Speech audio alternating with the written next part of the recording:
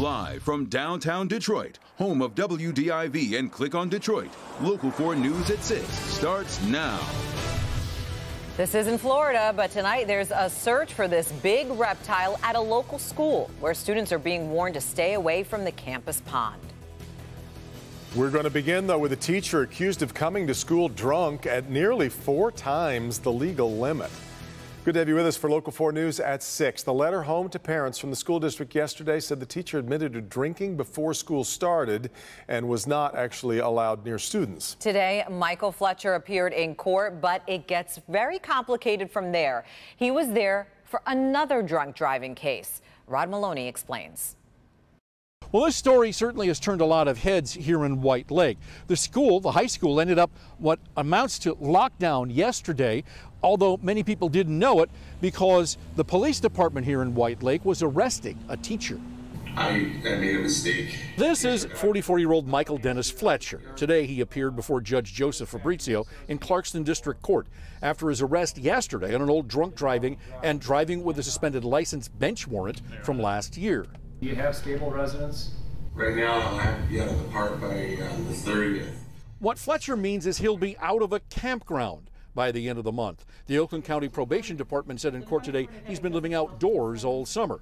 So how did they find him? Well, it turns out he'd been hired as a teacher at Lakeland High School. White Lake police tell Local 4 the principal noticed Fletcher had been late to work several days in a row. When he confronted Fletcher, the principal reported Fletcher smelled of alcohol, called the school's resource officer in. White Lake PD also said the officer did a sobriety test on him, discovered he was what amounts to super drunk, arrested him, and took him to the police station. The school went on lockdown for the few minutes it took to get Fletcher from the office off of school property. I've been trying to uh, um, get myself clean. The idea is because of my last divorce and the idea of a medical issue that I, it's, it's detrimental. Judge entered a not guilty plea in the old bench warrant DUI case. In the meantime, he is not charged with anything with his arrest from yesterday. And it's mainly because nobody saw him actually driving. So it's going to be up to the prosecutor in Oakland County to decide whether there are any charges forthcoming from that arrest. Back to you. Yeah, and Rod, you, did, you mentioned no charges. Did Fletcher get bond? Yes, he, he received bond, but it gets complicated as the story has been all along. It was a $7,500 bond, 10%. He can put up $750, he can get out of jail, but only if he wears an alcohol tether. And in order to have an alcohol tether, you have to be in a house where the monitoring company can get to you. So living in a campground is not an option. So as it stands right now, he remains in the Oakland County Jail tonight. Yeah, complicated indeed. All right, thank you, Rod. Developing this evening, the search for a gator loose near a local school. Yes, you heard that right. We, we sometimes make fun of Florida stories. This one's here. And it is very real. Students at Bedford High School in Temperance being told to keep away from the school pond because this might be swimming in it. Jason Colthorp here now, and I, I, guess this is actually called a caiman, this reptile? It's a caiman lizard, yeah. See what happens when we make fun of Florida stories too often? We get them. what happens. Yeah.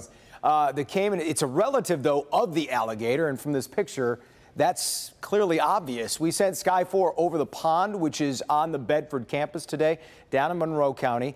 The biology pond is used by both junior and senior high school classes for academic study.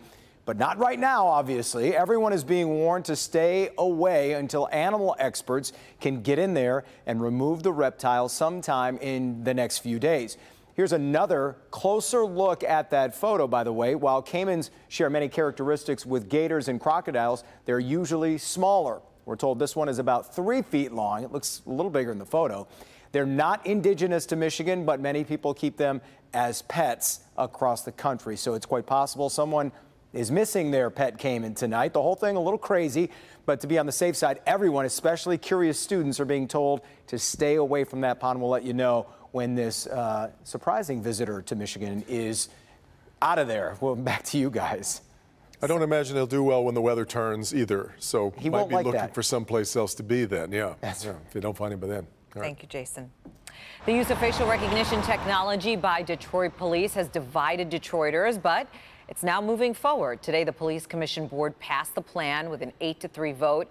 That technology will be used to identify suspects using still pictures. It's not supposed to be used as a surveillance tool, and there are stiff penalties for misuse as well. The plan now heads to City Council for approval.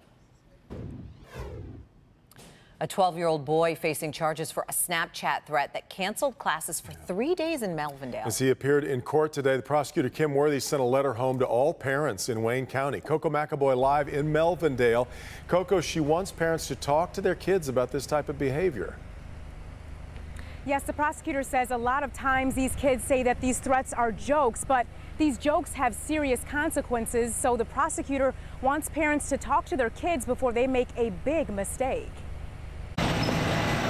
A 12 year old boy from Melvindale is facing serious charges for allegedly making a threat against schools. It was a little crazy because you don't really hear stuff like that around here. Angel Singleton and other parents sent their children back to school today after the district was closed for three days following the threat. Made me like nervous to even send them back today because we didn't really know for sure. The 12 year old allegedly sent a threat over Snapchat targeting students at Strong Middle School.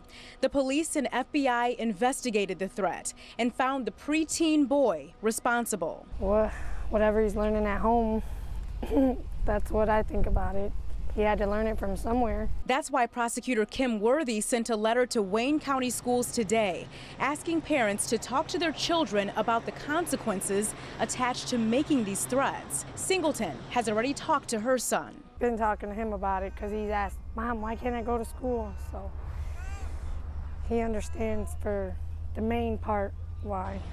The prosecutor is hoping more parents do the same to avoid more threats and charges in the future. And the 12 year old boy was formally charged today. He was given a $7,500 personal bond. And if he's convicted, he'll be sentenced as a juvenile. Reporting live this evening, I'm Koco McAboy, Local 4. Yeah. Okay, Koco. Two 13 year old girls may face charges for making bomb threats, meanwhile, at two Metro Detroit middle schools. Police say the Chesterfield Township eighth graders confessed to using an app to make threats at L'Anse Creuse Middle School East and Roseville Middle School yesterday.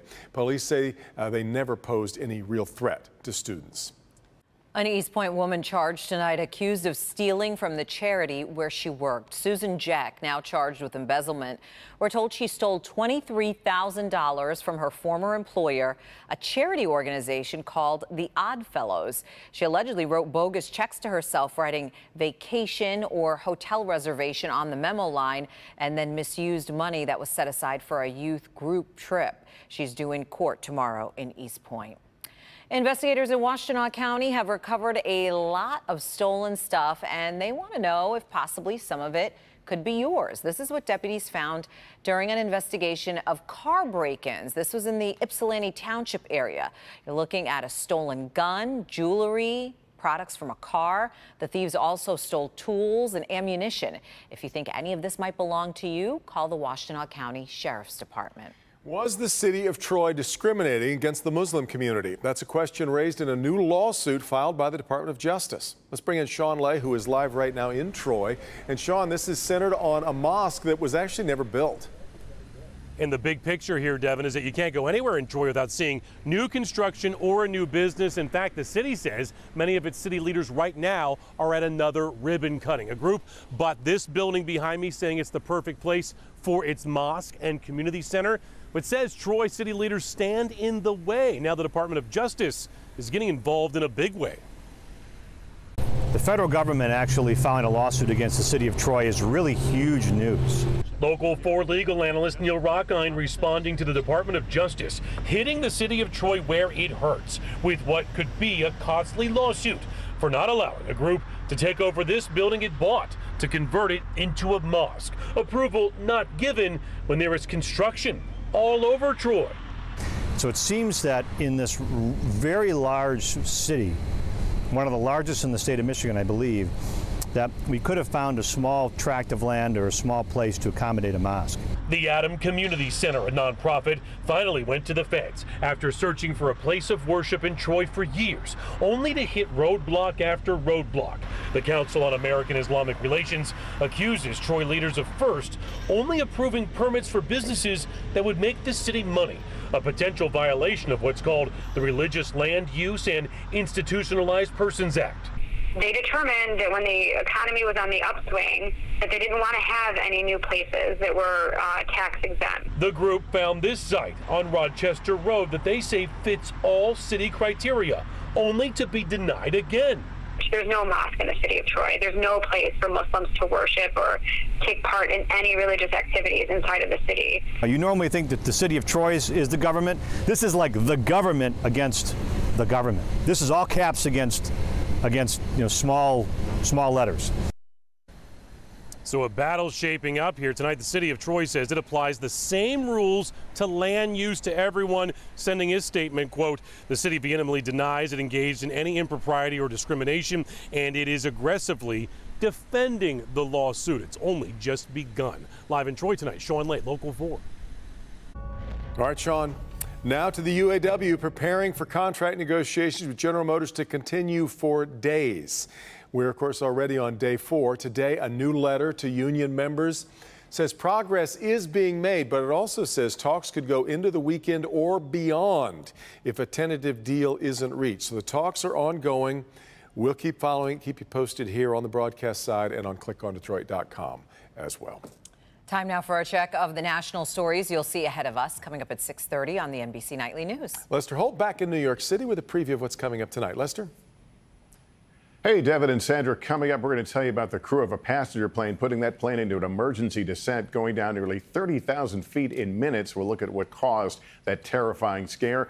Plus, climate in crisis. We travel to Iceland, where scientists have found a way to take one of the causes of global warming out of the air. And this involves rocks, right?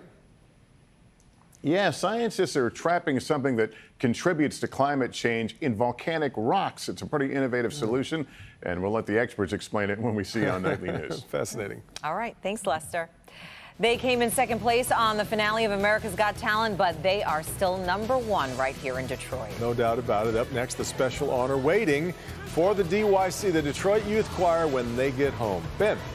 Devin, another night of sleeping with the windows open. Beautiful and comfortable conditions, but we may need that AC one more time before fall. We'll look at the numbers next. Still struggling sometimes with um, just having a normal life for her. Meet an educator going above and beyond to make a girl feel like she's not alone during recess. It's a story you don't want to miss. On the next Live in the D, Downton Abbey, Brad Pitt and Rambo Yo. Which movie should you see? Plus the beer hall that's a game changer for burgers. Tomorrow at 10 a.m. on Local